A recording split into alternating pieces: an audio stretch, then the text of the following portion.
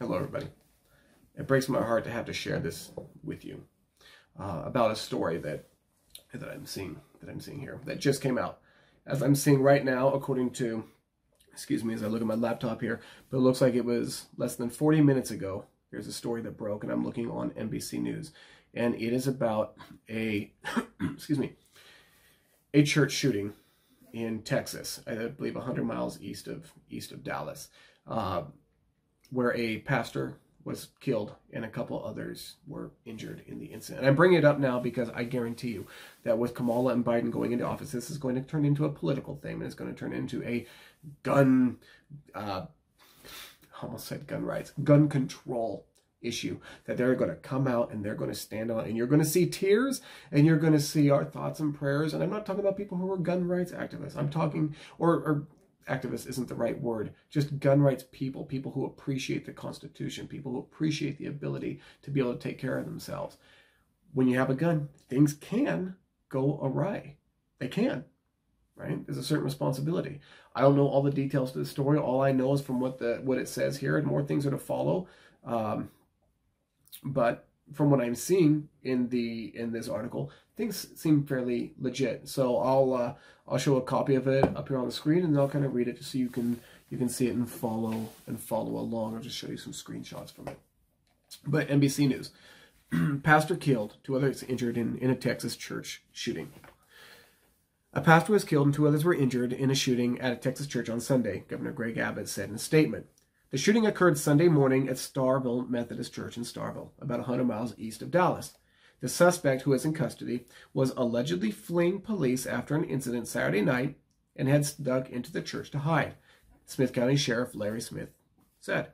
A pastor at Starrville Methodist Church found the man hiding in a bathroom around 9:21 a.m. when he, his wife, and several others entered the church Sunday morning. The suspect left but returned to the church amid an early morning manhunt by authorities. He starts coming toward the front door, and he turns around and lunges at the pastor, who was able to disarm the pastor, it appears this time, Smith said. He used the pastor's firearm, is the one that, interesting how it's worded there, but uh, it's, a, it's a quote. He used, the pastor's firearm is the one he used. The pastor is deceased at this time. Another person was being treated for a gunshot wound and their condition was unknown, Smith said. Someone was also being treated related to a fall during the incident. The suspect was found after allegedly stole the pastor's vehicle to flee the church and was caught in Harrison County, Smith said. He had a gunshot wound on his hand, though it was unclear when he was shot. Abbott sent his condolences to the victims and their families Sunday in the statement, which did not identify the pastor or the suspect. The state of Texas is working closely with the first responders and local officials to ensure that justice is served and that the Starrville community has the resources it needs during this time, Abbott said moving down toward the end. Smith said the incident is being investigated as a capital murder case, but the shooting does not appear to have been motivated by anti religious sentiment. This is a crime of opportunity for this man, the suspect, Smith said. The church just happened to be here. It could have been one of these houses he went inside, but he knew people were there. I believe he probably just got there to seek shelter. The sheriff did not provide details as to why the suspect was being sought Saturday, but he said authorities were working on obtaining the arrest warrant for the suspect. Smith did not release the name of the suspect or any other victims in the shooting. So a couple things just to keep in, keep in mind here, just to be aware of. As I said at the beginning of this video, this is going to come out. You watch. I promise you, this is part of their playbook. The Democrats are going to bring this out, and anybody who's gun control is going to bring this out as some kind of a we need gun control reform, we need gun control, we need this, we need this, and they're going to march, and it's going to be these big things, and people are going to, it's going to be this big political push for gun control. Okay, so you're going to see that. Uh, the second is depending on the race of individuals, if there is something where, let's say, actually, the only way it would go down, okay, the only way it would go down is if the pastor happened to be dark skinned and the church the church happened to be a place of color and the suspect happened to be white. At that point it's going to turn into a big race thing. So let's talk about that really quick. A couple things. Now that may or may not happen depending on what's going on. It might just be that everybody's a caucasoid and it's like eh, whatever. Passes without incident there. But those are the two cards that get pulled all right in politics now and in this culture. We know as I've said in other videos, most gun violence that occurs, including inner cities, which is where the majority of it happens, even though that's not really what gets reported, because it's these big, you know, mass shootings or an incident where you know a couple people get shot in this case. Um, these are the things that get reported because it plays into the it plays into the narrative. Okay, it's the thing that makes gun owners and guns look bad. Find everything you can, make them look bad, change the minds of the people, convince the people, get the votes, get your power, disarm the people, more power to the government. It's just, it's the way it gets played. It's no secret. It's what they do. The person going in here, as we saw here at the end of the article, is an individual. It, it said that he is a person who just took advantage of an opportunity just so happened to be there. Like the police, like Sheriff said, it could have been in a house, it could have been anywhere, but he showed up at the church. It was a place of opportunity. My guess is the pastor was probably armed. Well, we know he was armed. It says he was. He was either holding it, most likely because he saw something going on that wasn't right and he wanted to protect people, or he had it on his hip. Either way, we know that the individual lunged at the pastor, took the pastor's uh, firearm, disarmed him, and shot the pastor. Did he have to shoot the pastor? Why did he shoot the pastor? I don't know. I don't know. But that's what happened. And then he got off on a manhunt, took off, and we saw the incident there. So, again, most guns used in gun crimes are illegally procured either by being stolen, as was the case here, or by or by uh, black market, as we see pretty common in certain certain urban areas in this country. So when this thing comes, I just wanted you to see it. Wanted you to be aware of it. When it comes out, you start seeing all the gun control people and everything come out. Just be aware of the facts. Be aware of what's really going on here. This is not a gun issue. The person didn't even have a gun on him. He stole it and took advantage of it to, to help himself. We don't know what he was wanted for. We don't know what he was running for. We don't know what the incident on Saturday was. There's a lot of things here we still don't know. But just be aware of what's going on, okay? I just wanted to bring that to your attention. This is not a gun issue. They're going to try to tell you it's a gun issue. It's not. Okay? You're not going to be able to get through to these people. We have facts on our side. We try to show facts. They plug their ears like small children and say, actually,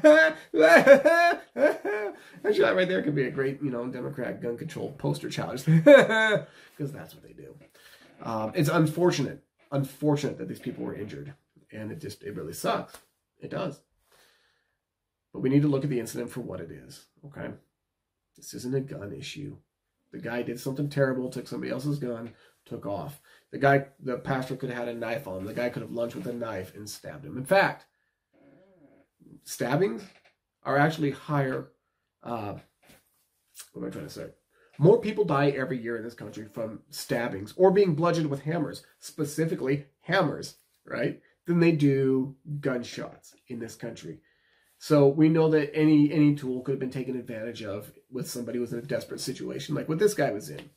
Um, and then, of course, he stole the pastor's car and took off after murdering the pastor. So don't, yeah, don't, don't fall for it. This is not a gun issue. They're going to push it that way. It's not. You're going to hear a lot of really, really bad information. Um, you know, here I'll show you really quick a screenshot of what somebody posted just on my own Facebook timeline uh, today. And you read this, and I'm I'm actually thinking about doing another call out video where I'm talking about all the ways in which this is just wrong. Not not not it's wrong factually and it's wrong morally. And it conflates a bunch of things that are unrelated in order to try to make a statement, and people fall for it because they are ignorant. They are low informed. They just don't know. That's one thing. But when they don't care to know, that's something completely different, and that's their responsibility. So I'm not going to let them just get away with that. Anyway, y'all have a good day. This incident sucks. Sorry that it, I'm sorry that it happened, um, but it happened. Okay. And we're going to deal with it as it is.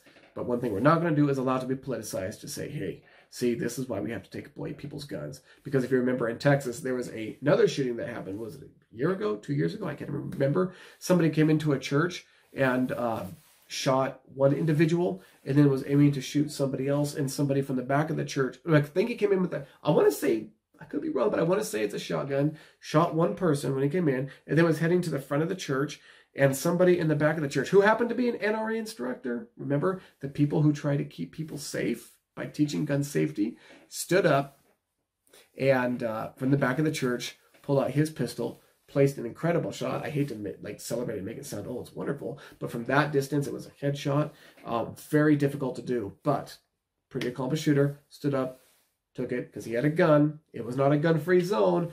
And even though it sucks that people died, stopped the perpetrator, stopped the murderer from going up and murdering the pastor and the other people he was going to murder after that. Okay? That's what guns do. Guns in safe hands, which are most guns, mind you, guns in safe hands protect people. They keep places safe. Okay? It sucks that this incident happened. It sucks that the person lunged at the gun that was in the pastor's hands. Hip, hands, full, I don't know. Don't know where it was.